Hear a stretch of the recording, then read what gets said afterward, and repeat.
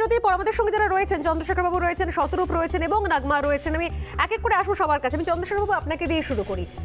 এতদিন ধরে দলের সঙ্গে থেকে শেষ পর্যন্ত টিকিট না পাওয়ার কারণে আপনি প্রোটোকল কমিটি খুব সম্ভবত, সেখান থেকে আপনি পদত্যাগ করেছেন। মানে এই বিক্ষোভটা কেন? কেন দলের প্রার্থীপত্র আপনার মেনে নিতে অসুবিধা হচ্ছে? দেখো, আমার দোষ এটাই আছে, হয়তো আমি পার্টির একনিষ্ঠ কর্মী। সাতাইশ বছর পার্টিকে দিয়েছি, তার পার্টি আজকে আমাকে ক্রেডেন্সিয়াল দিয়েছে। আমাকে টিকিট দেয়নি। আমি আজ পর্যন্ত জানতে পারছি না, তিন দিন হতে চলেছে, কেন আমার টিকিট কাটা হলো?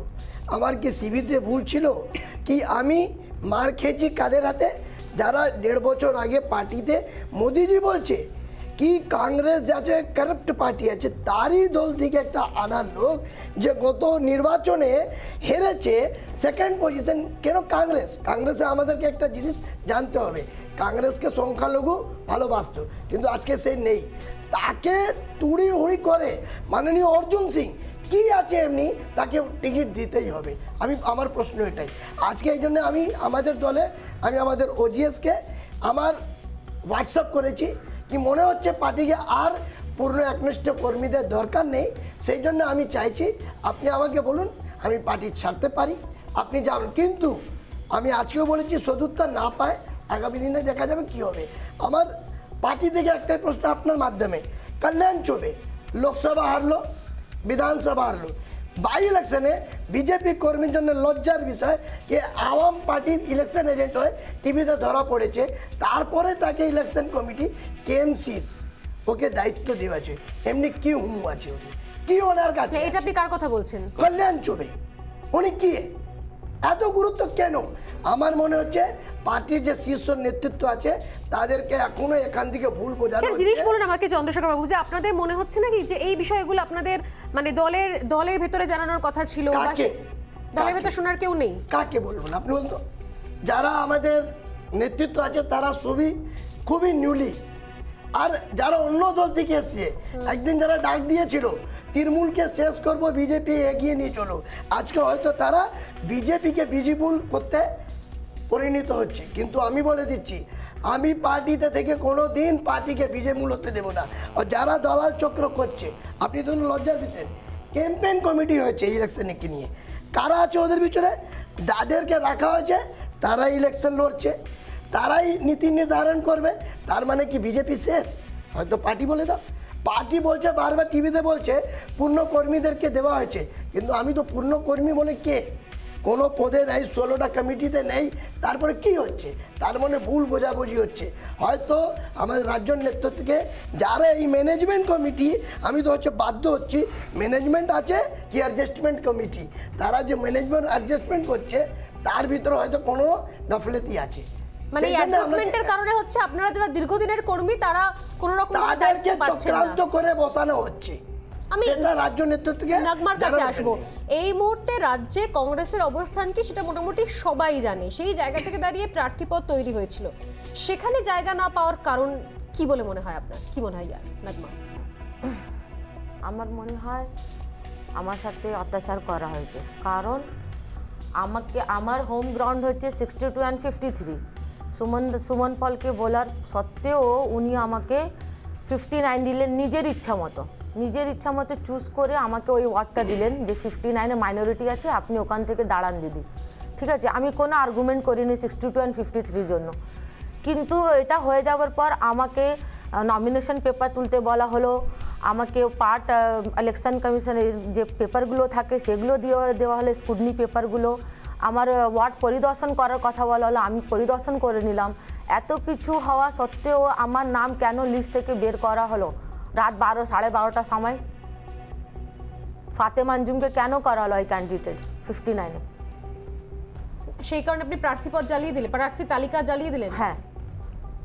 মানে আপনার কি মনে হয় যে এইগুলো আপনারা তো রাজনীতি করছেন রাজনীতির ময়দানে এসেছেন তো সেক্ষেত্রে এই জিনিসগুলো যেগুলো ক্যামেরায় ধরা পড়ছে আমার একদম সাংবাদিক হিসেবে প্রশ্ন আপনাদের কাছে যে আপনাদের কি মনে হয় কি এই জিনিসগুলো ক্যামেরার সামনে যেগুলো আসছে তাতে আপনাদের কোনো ক্রেডেন্সিয়াল বাড়ছে মানে আপনাদের উপর বিশ্বাসযোগ্যতা বাড়ছে এটা কি মনে হয় আপনাদের নাকি উল্টোটা হচ্ছে? মানুষ ভাবছেন যে কারা দেখুন এরা এতদিন ধরে রাজনীতি করছে এরা প্রার্থী হতে চাইছে সেই জায়গা থেকে দাঁড়িয়ে আপনি প্রার্থী তালিকা সেটা আপনার দপ্তরের সামনে জ্বালিয়ে দিচ্ছেন তো দলের প্রতিভা আপনাদের সেক্ষেত্রে দায় দায়িত্ব কোথায় যাচ্ছে? কংগ্রেস কর্মী সবসময় আদর্শ নিয়ে চলে। পুরো ভারতবর্ষে কংগ্রেস গর্ব মাথা উঁচু করে সবসময় রাখে। কিন্তু এটা আমার অনিচ্ছার বিরুদ্ধে হয়েছে। আপনি আমাকে এই ওয়ার্ডটা চুজ করে দিলেন, অথচ আমার নতুন ওয়ার্ড, এটা আমার হোম হোম গ্রাউন্ড নয়। তার সত্ত্বেও আমি এটা অ্যাকসেপ্ট করলাম। তারপর ওখানে পরিদর্শন করতে গেলাম সব কিছু ঠিকঠাক করলাম তিন, চার দিন ধরে। তারপর আমার পার্থতালিকা থেকে নামটা কেন কাটা হলো? আমি আসছি আপনার কাছে। আমি যেটা প্রশ্ন করছিলাম, আমি সেই সেই উত্তর পেলাম না, আমি তারপরে আবারও আসব। শতরূপ রয়েছেন আমাদের সঙ্গে? শতরূপ, বিভিন্ন জায়গায় যখন এই প্রার্থী পদ নিয়ে বিক্ষোভ রয়েছে, প্রার্থী তালিকা নিয়ে বিক্ষোভ রয়েছে, সেই জায়গা থেকে দাঁড়িয়ে আপনারা শুরুতেই বলতেন যে, বামেরা অন্তত আদর্শ নিয়ে চলে। সেখানে এমন নয় যে একাধিকবার। এক্ষেত্রে স্টুডিওতেও বিভিন্ন সময় আলোচনায় উঠে এসছে যে এমন নয় কি আমরা এখানে কেউ কারোর দল করতে অসুবিধা হচ্ছে বলে সে লাভ মেরে রাতারাতি কংগ্রেস তৃণমূল কংগ্রেস হয়ে যাচ্ছে, বিজেপি হয়ে যাচ্ছে, কিন্তু এক্ষেত্রে আমরা দেখলাম যে বিলকিস বেগমের ঘটনাটাও ঘটলো। প্রার্থী পদ নিয়ে অসন্তোষ, সেখান থেকে টিকিট না পাওয়া, সেখান থেকে রাতারাতি তৃণমূলে চলে যাওয়া বা তৃণমূলে গিয়ে টিকিটও পেয়ে যাওয়া। মানে এই বিষয়গুলো কি তাহলে কোথাও ভাইরাসের মতো সব দলের ভেতরে ঢুকে গেছে? না, কিছুটা তো ঢুকে গেছে, এটা আমাকে মানতেই হবে। এখন দেখুন, সত্যি কথা বলতে অন্যান্য দলের ক্ষেত্রে, দক্ষিণপন্থী দলগুলোর ক্ষেত্রে এটা অনেক বেশি দেখা যেত। আপনার মনে থাকবে, একবার সেই মানে কংগ্রেসের পার্টি অফিসে প্রণব মুখোপাধ্যায়ের ওপর চড়া হয়েছিল একদল লোক। এই নমিনেশন নিয়ে সমস্যায়। আজকে তৃণমূল কংগ্রেসের যে নেতারা বড় বড় কথা বলেন যে এখন নমিনেশন নিয়ে আপনারা যারা প্রার্থী হচ্ছেন না দলের সিদ্ধান্ত, প্রার্থী না হতে পারলে ঝামেলা করবেন না, ইত্যাদি। আমি আপনাকে সেই তৃণমূলের একজন বড় নেতা ট্র্যাক রেকর্ড জানাই, যার নেতৃত্বে আবার ভোট হচ্ছে, ববি হাকিম। দু হাজার ছয় সালে নিউ আলিপুর কেন্দ্রে আপনার মনে থাকবে স্বর্ণালী তাপস পাল যখন রিনমিনেট হলেন ববি হাকিমকে নমিনেশন দেওয়া হলো না, উনি প্রার্থী হলেন না। ববি হাকিম মমতা ব্যানার্জির বাড়িতে হামলা করেছিলেন দলবল নিয়ে। মমতা ব্যানার্জির বাড়িতে গিয়ে ইট ছুড়েছিলেন। ববি হাকিমের নেতৃত্ব হয়েছিল। সুতরাং এইগুলো ছিল, ডানপন্থী দলে এগুলো বেশি ছিল, আমাদের বামপন্থীদের দলে এগুলো খুব একটা ছিল না বলেই একটা সময় মনে হতো, কিন্তু এটা আমাকে মানতেই হবে খুব অনেস্টলি যে ইদানিংকালে কিছু ক্ষেত্রে দেখা যাচ্ছে যেটার জন্য আমরা খুবই লজ্জিত এবং খুবই দুঃখিত। এটা নিয়ে আমার এটা স্বীকার করতে কোনো দ্বিধা নেই। ইনফ্যাক্ট আপনিও নিশ্চয়ই আমার সাথে একমত হবেন যে একটা সময় আমাদের বামপন্থীদের ব্যাপারে বলা হতো, এবং এটা ঐতিহাসিকভাবে সত্যিও, যে আমাদের পার্টির সর্বোচ্চ নেতারা অনেকে এরকম, যারা কিনা সারা জীবনে চাইলে দেশের মন্ত্রী হতে পারতেন, কিন্তু তারা স্বেচ্ছায় কোনোদিন ভোটে দাঁড়াননি। যেমন ধরুন বিমান বসু হতে পারেন, তিনি সীতারাম ইয়েচুরি হতে পারেন, তিনি একসময় হরকিষণ সিং সুরজিৎ হতে পারেন। এনাদেরকে দল প্রার্থী করেনি বলে এনারা প্রার্থী হতে পারেননি, খুব ইচ্ছা থাকা সত্ত্বেও এমন তো নন। বিমান বসু যদি মনে করতেন যে উনি প্রার্থী হবেন, মন্ত্রী হবেন, কি আটকাতো ওনাকে? ওনার যা জায়গা আছে সিপিআইএমে। কিন্তু এনারা স্বেচ্ছায় পার্লামেন্টারি পলিটিক্সের ভেতর না গিয়ে সংগঠনের কাজ সারা জীবন করেছেন। এটা আমাদের একটা গর্ব ছিল। কিন্তু এখন আপনি যেটা বলেন বিলকিস বেগম বা এরকম একটা দুটো আরও ঘটনা সত্যি আমাদেরকে খুবই মর্মাহত করে। তবে আমি একটা কথা এখানে বলি স্বর্ণালী সেটা হচ্ছে যে দেখুন কোনো দলের ভেতর কি কে প্রার্থী হবেন বা না হতে পারলে তার সঙ্গে তার দলের কি সংঘাত হবে এটা একান্তই সেই দলের ব্যাপার। আমি তাই নিয়ে খুব একটা কিছু বলতে চাই না কিন্তু আনফর্চুনেটলি এই প্রার্থী হওয়া না হওয়াকে কেন্দ্র করে এমন কতগুলো অভিযোগ উঠে আসছে ইদানিং বাংলার রাজনীতিতে যা আমাদের বাংলার রাজনীতিতে এর আগে কোনোদিন ছিল না কোনো দলেই ছিল না এবং যা অত্যন্ত উদ্বেগজনক। যেমন তথা তথাগত রায় বিজেপির ক্ষেত্রে বললেন আবার কদিন আগ- আগে আপনি দেখলেন যে আপনাদের এই স্টুডিওতেই অন্য একটি স্লটের আলোচনায় রিপাবলিকেই সীতা জয়সওয়াল বলছেন তৃণমূলের ক্ষেত্রে। উভয় ক্ষেত্রে বক্তব্য এক যে টাকা পয়সা লেনদেন করে হচ্ছে প্রার্থী ঠিক করা হয়েছে এবং তথাগত রায় তো ইনফ্যাক্ট তার সঙ্গে একটা কথা বলেছেন যে নাকি মহিলাদেরকেও ভোটের প্রার্থী ঠিক করার প্রয়োজনে ব্যবহার হয়েছে। এবং তা যদি সত্যি হয়ে থাকে তাহলে এটা তো খালি একটা দলের আভ্যন্তরীণ বিষয় না এটা তো একটা ভয়ঙ্কর সামাজিক অপরাধ এবং একটা আইনি অপরাধ। এটার বিরুদ্ধে তো আমাদেরকে সামাজিকভাবে একটা অবস্থান নিতে হবে এবং এটা আমাদের বাংলার রাজনীতিতে ছিল না। আমি জাস্ট একটা কথা বলি স্বর্ণালী দেখুন আপনি তো আমার সাথে একমত হবেন নিশ্চয়ই।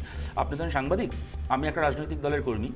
আমরা যে ধরুন সাংবাদিক বিভিন্ন রাজনৈতিক দলের নেতাকর্মী হ্যাঁ পুলিশ অ্যাডমিনিস্ট্রেশনের একটা অংশ এটাও তো বাই ইটসেলফ একটা কমিউনিটি মানে আমাদের ক্যামেরার সামনেই যে খালি কথা হয় তা না ক্যামেরার পেছনেও একটা আদান প্রদানের জায়গা রয়েছে এবং মানে আমি খুব ক্যান্ডিডলি এটা বলছি এটা তো আমাদের তারা সামাজিক যোগাযোগ রয়েছে। সেই জায়গা থেকে আমরা কিন্তু অনেক কিছু ঘটনা চারদিকে ঘটে যেগুলো হয়তো আপনি এই মুহূর্তে ক্যামেরার সামনে বলতে পারছেন না কি আমি বলতে পারছি না কিন্তু ঘটনাগুলো সম্পর্কে আমরা ওয়াকিবহাল কম বেশি আমরা ওয়াকিবহাল। বিধানসভার ভোটের আগে কিন্তু আমরা দেখেছিলাম পশ্চিমবাংলায় প্রার্থী ঠিক করা নিয়ে কী খেলা হচ্ছে। একই ফিল্ম স্টার, রাত্রির দশটা থেকে এগারোটা মিটিং করছেন কোনো একটা ফাইভ স্টার হোটেলের তৃণমূল নেতার সঙ্গে, মমতা বন্দ্যোপাধ্যায়ের পরিবারের লোকের সঙ্গে, প্রার্থী হওয়ার ব্যাপারে বারোটা থেকে একটা পর্যন্ত মিটিং করছেন আর একটা ফাইভ স্টার হোটেলে বিজেপির কোনো নেতার সঙ্গে। যেখানে ডিল ফাইনালাইজ হলো, পরের দিন প্রার্থী তালিকায়, সেই দলের প্রার্থী তালিকায় তার নাম ঢুকে গেল। একই লোক। মানে একেবারে ওই হয় না, চাকরি চাইতে বেরিয়েছে, আমাকে টিসিএস বেশি ভালো অফার দিচ্ছে না বিপ্রো বেশি ভালো অফার দিচ্ছে। যার অফার আমার পছন্দ হলো, আমি তার হয়ে দাঁড়িয়ে সেক্ষেত্রে মনে পড়ে যাচ্ছে শাহ আলফিলে একজন হেভিওয়েট নেতা যখন তৃণমূল কংগ্রেসে জয়েন করলেন তিনি হ্যাঁ বলেছেন বললেন। যে অপরচুনিটি হ্যাঁ বললেন অপরচুনিটি যেখানে ভালো ছিল। বাবুল সুপ্রিয় আবার বললেন যে হচ্ছে আমি প্লেইং ইলেভেনে থাকতে চাই।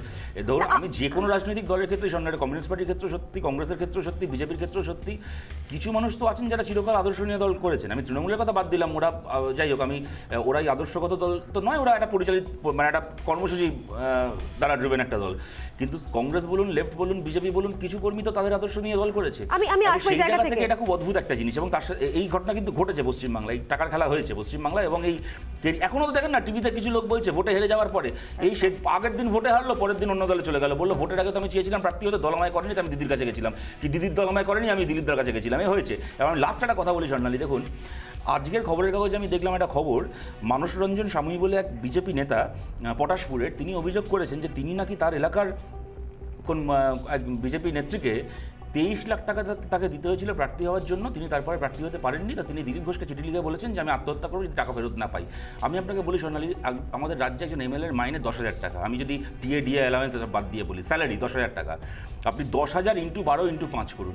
একজন এমএলএ তার গোটা কার্যকালে কত টাকা মাইনে পায়? এমত তারপরে তাহলে এত অবস্থায় টাকা- তেইশ লাখের তেইশ লাখের কয়েক ভাগেরও এক ভাগ নয়। সেমতাবস্থায় একজন মানুষ যদি খালি নমিনেশন পাওয়ার জন্য তেইশ লাখ টাকা খরচা করতে রাজি হন তাহলে জেতার পরে ক লাখ টাকা কামিয়ে নেওয়ার পরিকল্পনা নিয়ে তিনি রাজনীতি করেন ভাবতে পারেন?